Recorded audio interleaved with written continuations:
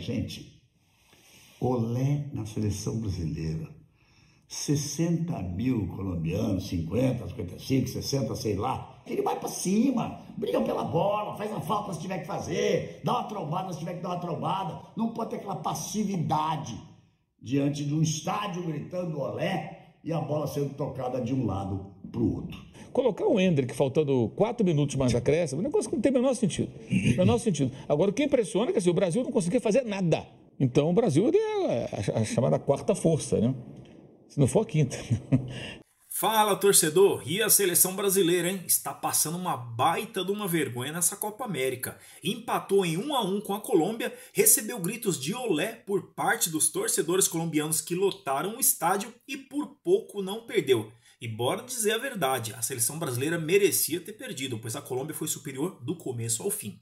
Para Galvão Bueno, a seleção brasileira tem um meio-campo muito fraco, sendo que os jogadores que compõem o meio-campo da seleção são de times pequeno ou médio do futebol inglês. Já o jornalista Mauro César chegou a dizer que a seleção brasileira é a quinta força do futebol sul-americano e já não mete medo mais a ninguém. Bora ver essas críticas que fizeram a seleção brasileira aqui. Lembrando que os créditos do vídeo pertencem ao canal GB do Galvão Bueno e ao canal Jovem Pan News. Vídeo na tela para você.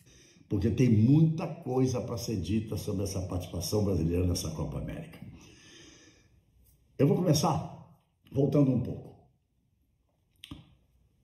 Depois dos amistosos contra México e Estados Unidos, eu disse: estou muito preocupado com a seleção brasileira nessa Copa América, que é muito importante para a formação do time, para ganhar força mental, psicológica, além de, de, do trabalho em campo e daquilo que possa render, porque as eliminatórias vêm por aí, o Brasil está em sexto lugar nas eliminatórias.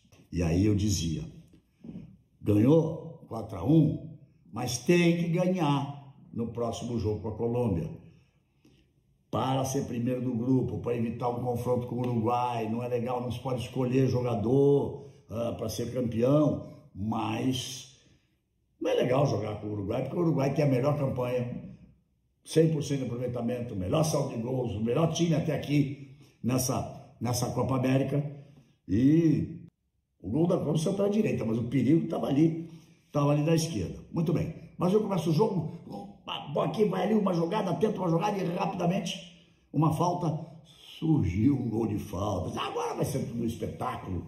Ah, show, gol de falta, essa, esse azar para lá. Ah, quanto tempo? Cinco anos e meio, sei lá, é, que, que, a, que a seleção brasileira fazer um gol de falta, o último assim do, do, do Coutinho, 19. 1 a 0. Bora para cima deles? Não. A partir daí, a Colômbia tomou conta do jogo. E teve um gol que o Borré, o Internacional, perdeu, quando estava já no olé. Metade do segundo tempo, olé, olé, olé. Era o que a Colômbia queria. Empate ou vitória para a Colômbia era a mesma coisa. Empate ou derrota para o Brasil era a mesma coisa. O empate levou a Colômbia para a primeira colocação do grupo, evitou um confronto com o Uruguai, vai jogar contra o Panamá, vai atropelar. Em teoria, né? O time do Paraná para partir para uma semifinal. E deixando a bola ser tocada daqui para lá, de lá para cá. Era o que os colombianos queriam, vai para cima, briga pela bola, faz a falta se tiver que fazer, dá uma trombada se tiver que dar uma trombada. Não pode ter aquela passividade diante de um estádio gritando olé e a bola sendo tocada de um lado para o outro.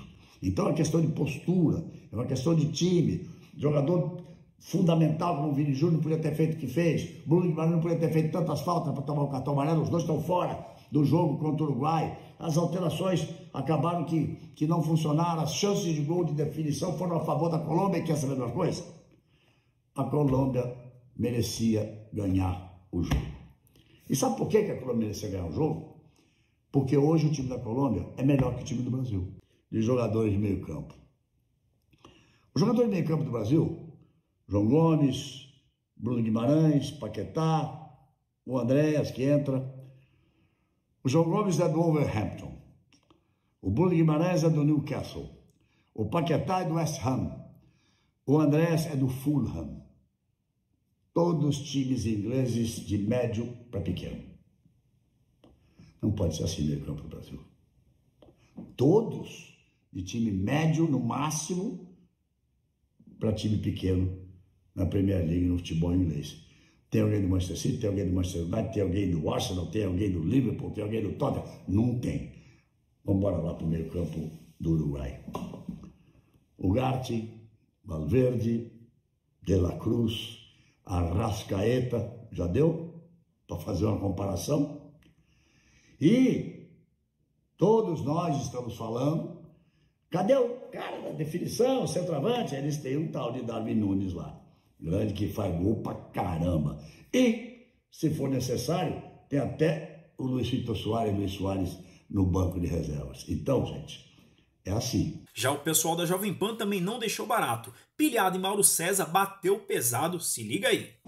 Estava é, claro antes do começo dessa competição que três seleções eram superiores ao Brasil. Colômbia agora 26 jogos invicta, é, Uruguai do Bielsa, né, que tem bons jogadores, um técnico que quando acerta o time é, é diferente, é, é, sempre um time agressivo, que faz muitos gols, que ataca, que se expõe, e a Argentina campeã do mundo, né, que ainda tem o Messi, e, e tem bons jogadores e carrega aí o, o, título da Copa América e da, da Copa do Mundo.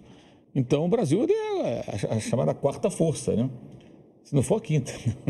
De repente pode ser a quinta, dependendo do que acontecer. Que bizarro. E é o começo do trabalho. O Brasil não tem grandes craques, assim, jogadores extraordinários e tudo. São bons jogadores, muitos com pouca experiência em seleção, né? muitos jogadores que estão sendo chamados só agora.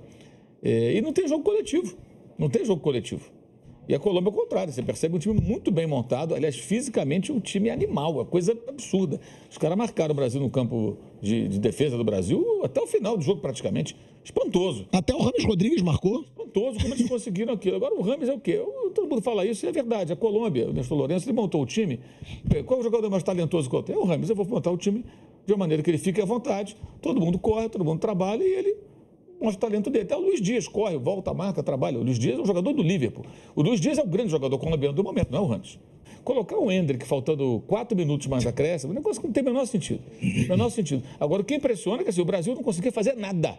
Nada, nada, nada. Não conseguia ficar com a bola, não conseguia sair jogando, perdia a bola na pressão alta do time colombiano.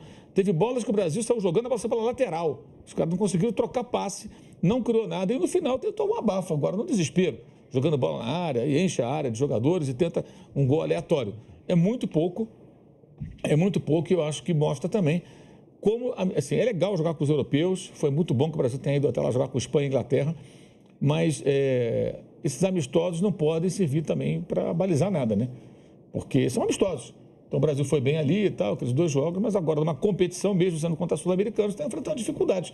Ganhou do Paraguai que perdeu para Costa Rica que é um dos piores times hoje do Paraguai. Tem até alguns bons jogadores, meio campo ali. A campanha do Brasil, Mauro, Mas... é igual à da Costa Rica. Sim. O Brasil só tem mais saldo de gol. Tem mais saldo de gol. Olha que coisa ridícula que virou o Brasil. Exatamente. Agora eu quero saber de você, torcedor brasileiro. Essa seleção brasileira, dá para ter esperanças com ela nessa Copa América ou não dá nem para sonhar mais com Hexa na próxima Copa do Mundo? Comenta aqui embaixo, fala o que você acha, te vejo no próximo vídeo. Fui!